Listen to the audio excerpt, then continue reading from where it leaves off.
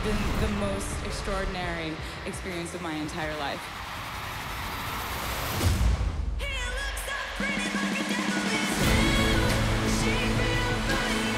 We're about to go on a little adventure together, and that adventure is going to span 17 years of music. How does that sound?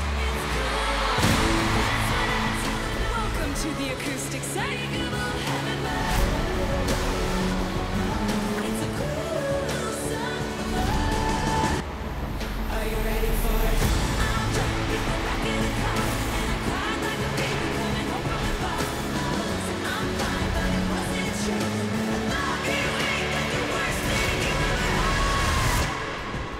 Come up to me and they'd be like, you're gonna just like do a show with like all the albums in it?"